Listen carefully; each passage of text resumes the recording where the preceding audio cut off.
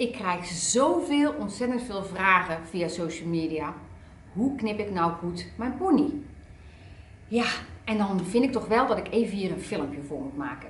Dit filmpje is namelijk voor jullie, de kapper, maar ook voor de consument. Want wij kappers willen niet dat zo dadelijk als de salon weer open gaat, dat al die klanten binnenkomen met een verkeerde pony. Dat zou echt ontzettend zonde zijn.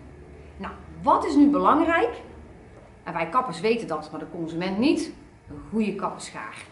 En ik heb hier een hele mooie kapperschaar van het merk KIS.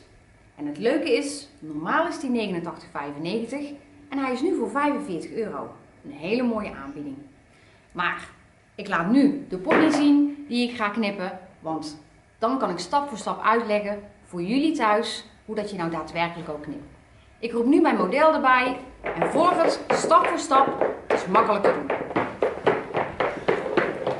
En daar hebben we ons model. Daar hebben we Kissy. Hoe knip je nou goed die pony?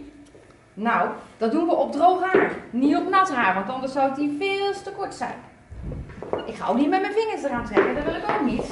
En wat ook belangrijk is, is dat die mooie pony je wel aankijkt. Dus, wat gaan we doen? We leggen het haar in de kam. Geen spanning erop zetten, want dan is die pony te kort. Dan met een mooie inkniptechniek. Ja, kijk, kijk, kijk, kijk. Dat gaat helemaal goed. Knippen we een mooie ponypartij. Kijk, als je model nou een beetje wiebelt, dan moet je gewoon mee wiebelen. Want het moet natuurlijk wel mooi recht. Nou, zie hier. Hoe mooi kan een pony wezen? Jullie begrijpen wel, dit is een 1 april grap. Maar de actie van de schaar, die staat wel. Dus klink hieronder op de link. En ik zeg uh, succes allemaal!